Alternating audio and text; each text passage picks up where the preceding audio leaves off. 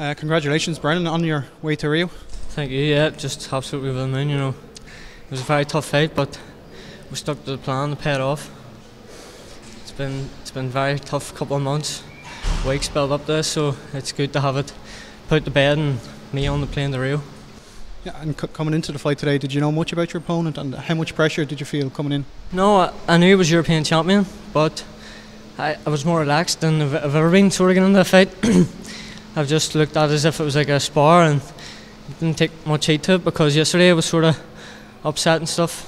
Um, but I didn't let it um, take over. I just stuck to stuck to the game plan and kept focused.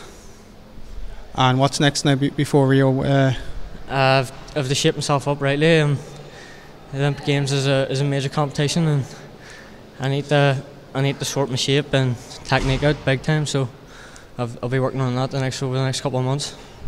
And Zaur, just get a few words from you after that. We have plenty of work to do. We have to improve many, many things. Yeah, he had a very hard fight today. A little bit, he won, was very good performance. He tried everything yesterday as well. Uh, we have to improve many, many things, and for Olympic Games we will be very, very good, in good shape with coaching team and everybody. We work together. Yeah.